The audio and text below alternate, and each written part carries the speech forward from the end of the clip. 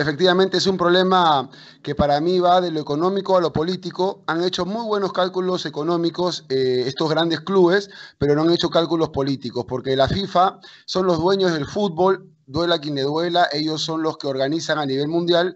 Y para empezar, el primer escollo o el primer problema que tienen es que los jugadores no se han manifestado todavía. Hay entrenadores como Guardiola que ya lo hicieron que dijeron que no le parece bien. Y la verdad es que las consecuencias son directas. Para empezar, ¿van a poder estos jugadores que militan en estos clubes jugar un mundial, por ejemplo? Entonces ahí ya vemos que se van midiendo los poderes y me parece, para no hacerlo tan extenso, es que se van a ir como quien dice una patinada y una ida de cara de estos grandes clubes que para mí lo que quieren es más dinero y van a negociar. Infantino el día de ayer dijo ya que se van a sentar a negociar, pero el presidente de la UEFA está como quien dice o el director está implacable, ¿no? Y han dicho que, por ejemplo, estos tres equipos que están Real Madrid, eh, el Manchester City y después eh, el y el Chelsea, que sean separados de, la Champions. Ahí nomás ya empieza ya, como quien dice, una discusión brava, porque lo sacarían de la Champions. ¿Quién es el más bravo? ¿Quién es el que más poder tiene? La FIFA para mí. Pero bueno, vamos a ver cómo se desarrollan, el por qué también. Yo creo que Real Madrid y Barcelona están en, casi aprietos de bancarrota y también quieren más dinero. Entonces, por ahí va el asunto, por un tema económico, pero a nivel político se están equivocando bastante, es a, mi modo de interpretar. Ahora, lo de Farfán, para hacerla corta, eh, yo creo que el jugador se equivoca mucho con Farfán.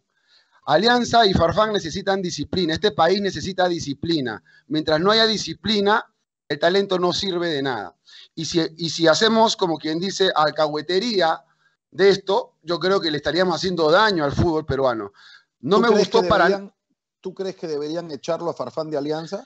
Mira, si yo tengo que rectificar en alguna, alguna medida el, grado de decirlo, echarlo, tal vez yo me, me, rectifico, es decir, echarlo es demasiado, pero separarlo y hacer una sanción drástica que no sea de una fecha, sino que lo hagan sentir, que sean de varias fechas, así como cuando un jugador comete una falta muy grave y lo sancionan por muchas fechas, y que le duela al jugador y que no sea una disculpas y acá no pasó nada.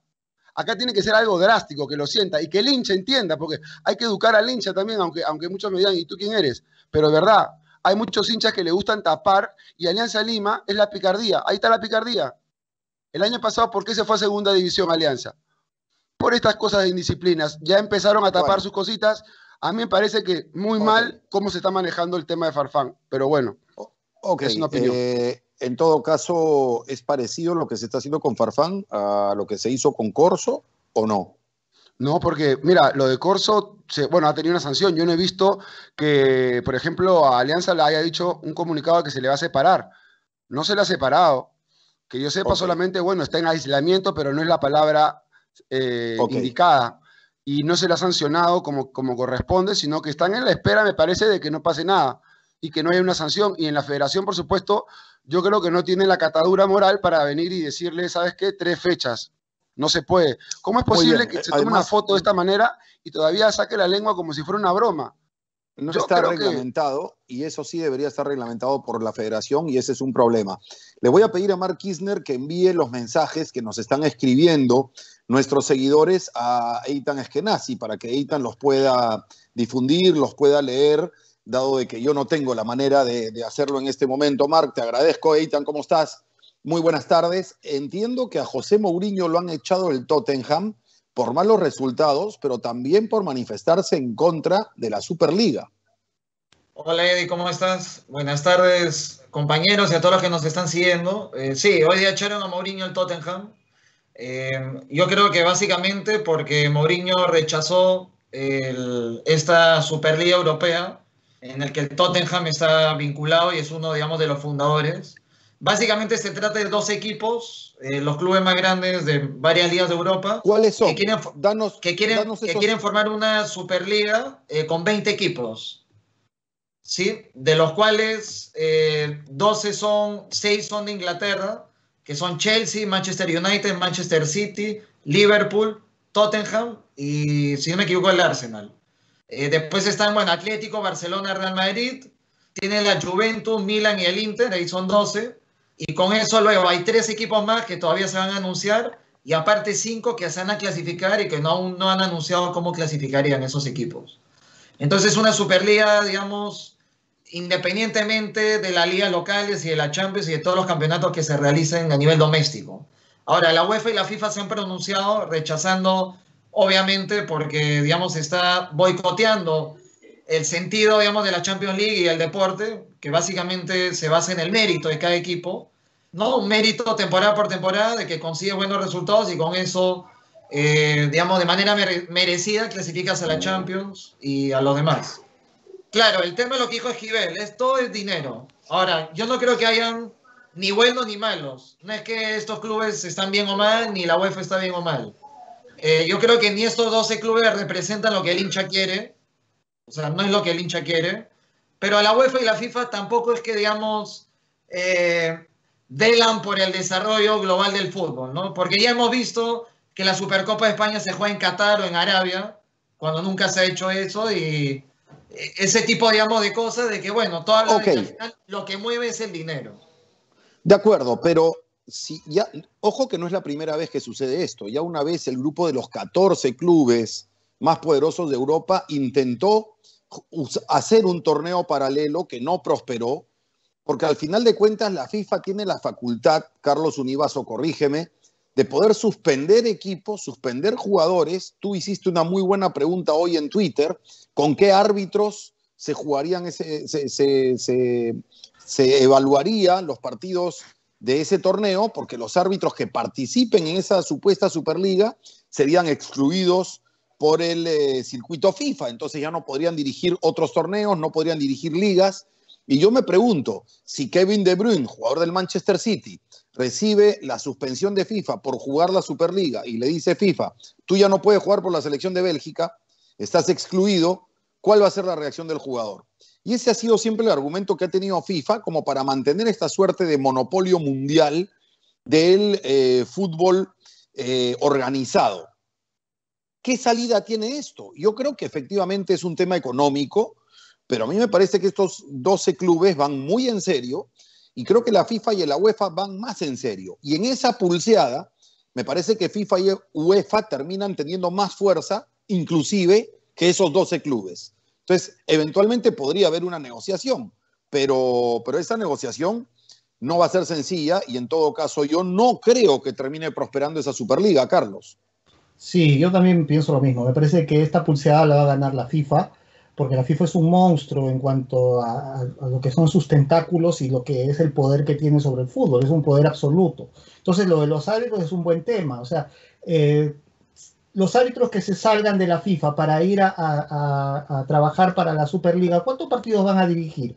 Van a dirigir unos cuantos, pero no van a dirigir sub-20, mundiales eh, o eliminatorias europeas de categorías inferiores, no van a, dirigir eliminatorias de mundiales, no van a dirigir mundiales, van a perder un montón de dinero.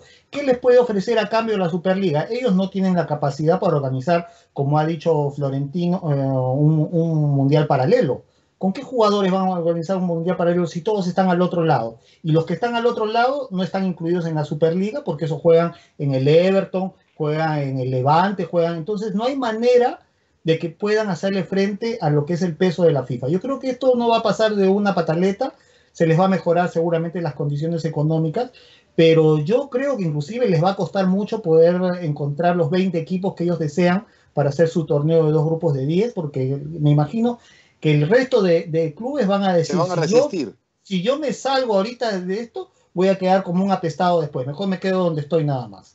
Y, ojo que más y algo más, que es...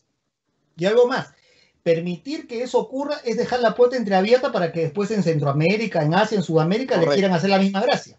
Correcto. Entonces van a ser eh, Eventualmente puedan complicársele aún más. Ahora, Gabriel Casimiro, yo no creo que esto suponiendo que no prospere esta Superliga, suponiendo que la FIFA termine imponiendo su poder, yo creo que también puede acarrear alguna forma de suspensión a quienes están intentando siquiera este, este torneo paralelo. Yo no me sorprendería que FIFA, por ejemplo, se decía que iba a, a anunciar como campeón de la Champions al Paris Saint-Germain, que es el único de los cuatro semifinalistas que no está involucrado en esta Superliga.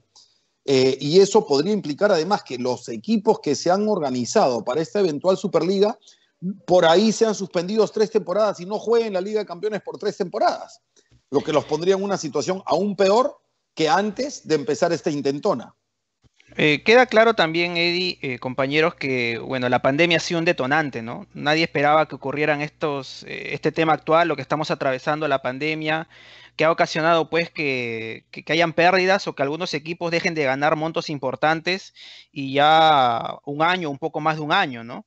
Entonces, a mí me queda claro porque lo que comentaba Carlos era de esta, si lo podemos definir, creo que sí es una pataleta pero yo creo que igual puede surgir que en Sudamérica, porque creo que hace unos años ya había una intención de hacer algo parecido a lo que están haciendo ahora en Europa, de que por lo menos, si bien es cierto, al final no prospere esto de Europa, que creo que va a ser así, que no va a prosperar, pero la pataleta ya está hecha, y en Sudamérica en cualquier momento pueden hacer también la pataleta, ¿no? Y la Comebol debe seguramente estar alerta, ¿no? Ante, ante esto, aunque, a, que esto ocurra o, suceda, porque, bueno, justo esto coincide cuando el, presidente de la Comebol comentaba de que había subido los premios, aumentado los premios de la Copa América, ¿no? O sea, parece que por un tema de dinero en Comebol no es, ¿no? Pese a todo el problema que estamos atravesando de pandemia y económico, parece que en Comebol por lo menos sí tienen eh, cómo seguir adelante, ¿no? Pero en Europa obviamente es otra realidad. Eh, yo creo que más allá de las sanciones, Eddie, por la situación que es tan delicada, yo creo que la FIFA y la UEFA van a decir, ok, ya, no van a haber sanciones, suspensiones, pero lleguemos a un buen acuerdo, ¿no? Vamos a sentarnos en la mesa, conversemos, no habrá nada, pero sigamos todo como estaba antes. Ahora, cuesta entender el grado de crisis en las que entran clubes como el Barcelona y otros equipos que tienen recaudaciones enormes, abonados que llenan sus estadios todas las semanas cuando hay público en los estadios, merchandising enorme, derechos de transmisión de montos realmente increíbles. Y yo creo que esto responde también a un tema de una inflación desmesurada de la cotización de los futbolistas. Se llegó a un punto en que se quiere contratar a futbolistas por 150, 200 millones de euros y terminan los clubes reventados en deudas y entonces, ante esa situación crítica en lo financiero, buscan una salida paralela que la UEFA no les puede dar. Entonces será cuestión también de que empiecen a cumplir con el fair play financiero, empiecen a ajustar sus presupuestos y a poner la cotización de los futbolistas en términos terrenales y no eh, digamos, de, eh, estratosféricos, montos irreales, montos que no se recuperan, montos que no se terminan cobrando y que terminan generando pérdidas a los clubes. ¿Algo que agregar, Carlos Eitan, sobre el tema de la Superliga para cambiar?